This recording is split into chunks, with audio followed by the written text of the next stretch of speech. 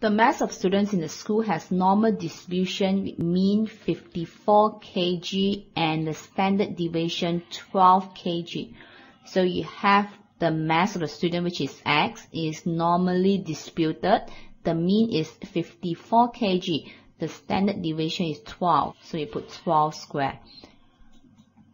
Find A, the mass of student which give a standard score of 0.5. So this is very simple if you know the relationship between the z-score and the x, that is z equal to x minus mean over the standard deviation.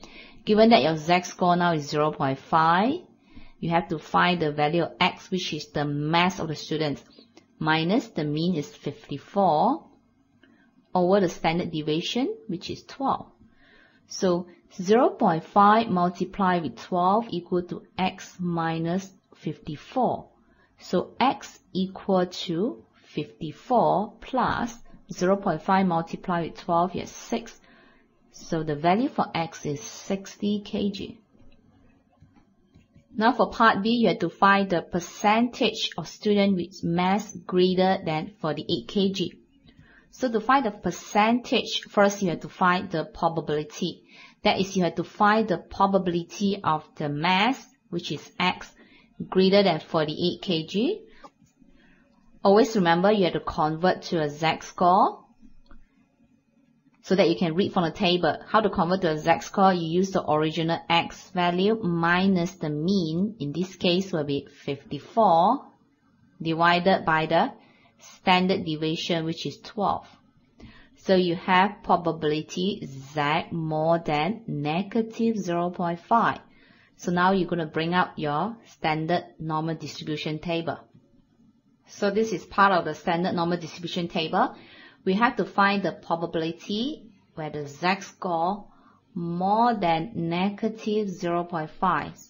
So we can't find the negative number here. What we have is the upper tier probability with all the z-score is a positive number. So what you can do here is to change to 1 minus probability z less than negative 0.5. So this part here is the probability z less than negative 0.5. This equal to 1 minus probability z more than 0.5. Remember I told you because of symmetrical nature, this probability z less than negative 0.5 is the same as probability z more than 0.5. So now you can find this probability in your table.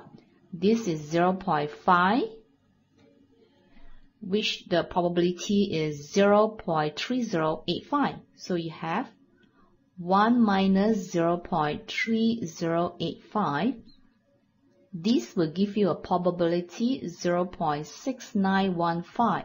So this is the answer in probability. You need to find the percentage so what you do is times 100. So you have 69.15% of the students with mass greater than 48 kg.